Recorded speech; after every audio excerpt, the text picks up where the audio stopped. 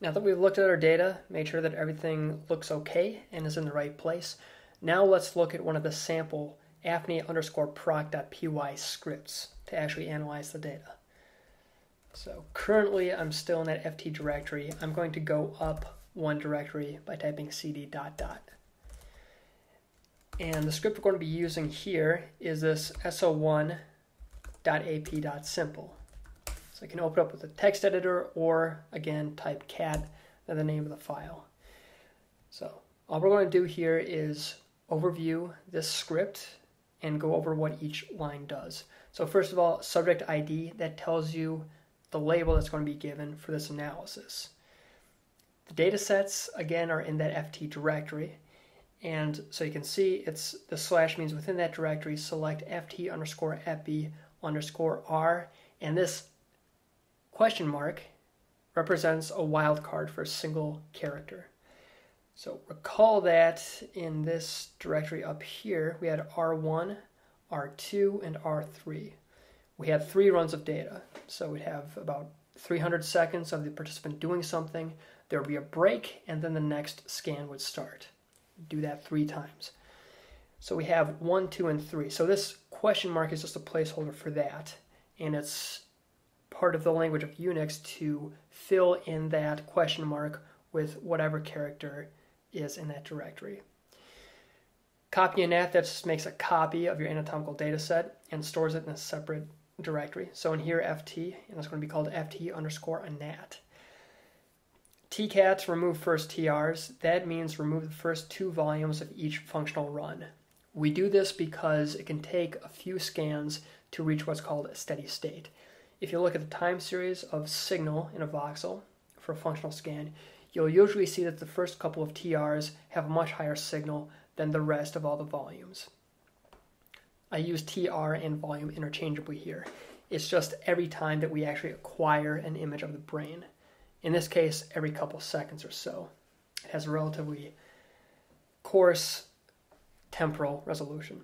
So regress stim times, we're now getting into actually setting up our model of what we think the activity in a given voxel should look like.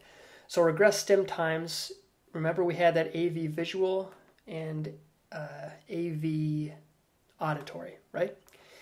So one condition, visual was reliable, and the other condition, auditory was reliable. This asterisk is a wildcard grabbing one or more characters. So similar idea to this question mark, but the asterisk means select as many characters as possible until we come to the rest of this string right here. So it's going to grab AV1 and AV2. Regress stim labels, that's going to put a label on each condition. So what are we going to call those conditions? Well, first be aware of what order that these are going to be selected. This wildcard is going to grab first the visual reliable and then the auditory reliable ones. So we're going to call it uh, VREL for visual reliable and AREL for auditory reliable. This regress basis specifies the basis function we want to use for our model. So in this case, we're using what's called a block design, right? So we're going to be convolving an incomplete gamma function with a boxcar. So just think of like a, a, large rectangle kind of moving along in space from left to right. And once it hits a certain time, in other words, when the participant either saw an auditory or visual stimulus, it's going to increase. Okay, it's going to start looking like uh, a boxcar convolved with an incomplete gamma function. It's really hard to describe in words without showing it, but later on we'll show you what the ideal response function will look like. So these two numbers, these arguments we have in here, 20 means for 20 seconds, and 1, I believe, is the upper limit of the activation. Regress, EST, blur, ERSTs, don't worry too much about that. That's just going to give an estimate of the blur or the amount of, of noise or smoothing in the error time series. So anything that we haven't modeled. That's useful for actually making an estimate of how many voxels we need in a given cluster to pass a certain threshold.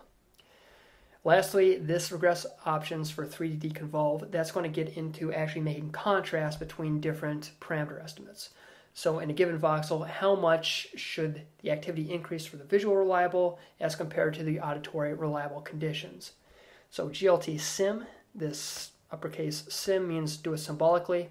It's going to be VREL and implied as a plus one in front of it, but since it's not there, it's still implied as a positive one. And then this negative means apply negative one weight to auditory reliable. And the label is going to be V minus A. So that's a contrast of visual minus auditory. We only have one contrast, but we give it the number one anyway. So if we had two contrasts like auditory minus visual, then we'd say GLT label 2, A minus V. That is the AFNI script. We'll be talking more about that. But first, we're going to get into more of the pre-processing steps of this sample data set.